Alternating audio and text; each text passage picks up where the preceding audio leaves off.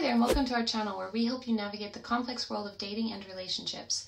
In this video we're going to be talking about how to approach a woman at a bar.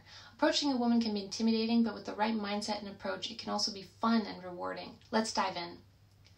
Confidence is attractive and it's important to approach a woman with confidence.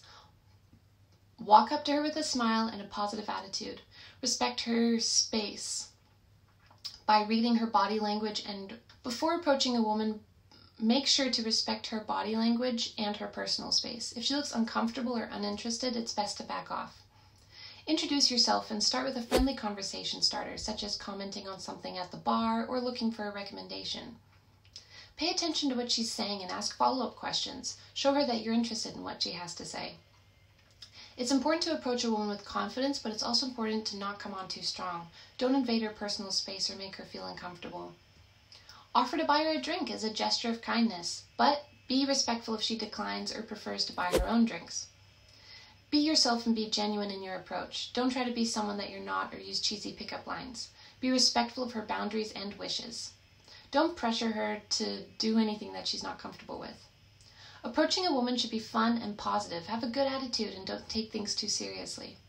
If she's not interested, respect her decision and don't take it personally. There are plenty of other people to meet and connect with.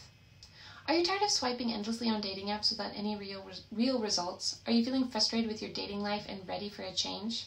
Our expert coaches have years of experience helping clients just like you overcome dating obstacles and find love. We offer personalized coaching sessions that are tailored to your unique needs and goals.